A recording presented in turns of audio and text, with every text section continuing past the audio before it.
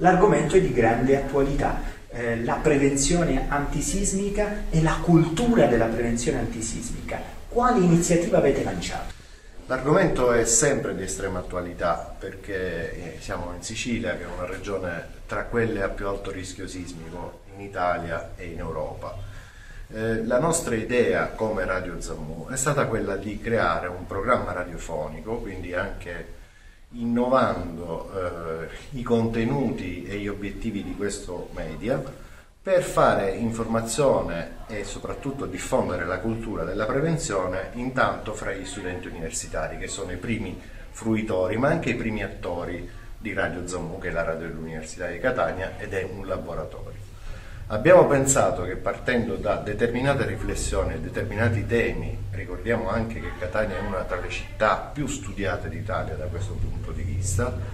eh, facendo parlare eh, gli studiosi, gli esperti, quindi un geofisico, un vulcanologo, uno studioso di scienze delle costruzioni, gli esperti della protezione civile, potessimo cominciare a dare quelle informazioni basilari di conoscenza, ma anche di pratica e di prassi, di buone prassi, che possono servire a chi abita in un territorio come il nostro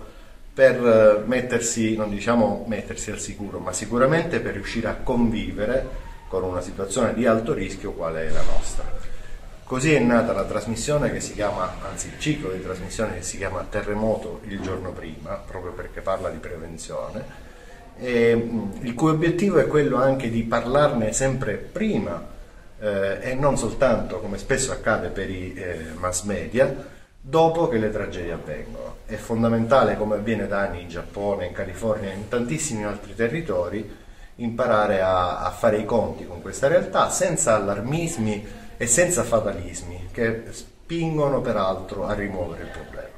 Come vincere la cultura del fatalismo? Beh, eh, informandosi, conoscendo. Eh, il nostro è un paese, soprattutto al sud, dove si rimuove perché si ha paura e perché si preferisce scongiurare, fare gli scongiuri, addirittura tacciare chi parla di questi rischi di, di, insomma, di essere un po' iettatore.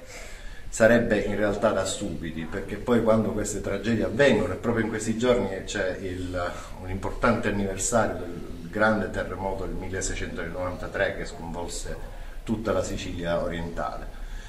Quindi eh, sono cose con cui dobbiamo fare i conti perché dipendono dalla natura e dipendono dalle caratteristiche del nostro territorio. È importante eh, imparare, conoscere, diffondere la cultura sin da bambini, quindi sin dalle scuole. Per fortuna oggi molte scuole fanno le esercitazioni e aiutano i nostri figli a capire eh, come mettersi in salvo, probabilmente ne sanno anche più di noi, noi cittadini normali,